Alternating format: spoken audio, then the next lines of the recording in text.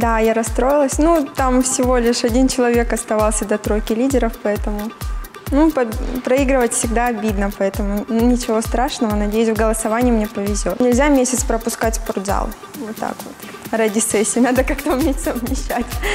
Поэтому вот такой вывод я извлекла. Хорошо, ты рада, что девочка не ты, а девочка другая завоевала? Нет. Ну, я рада, что она спортивная, и что у нее хватило сил из нас всех все-таки.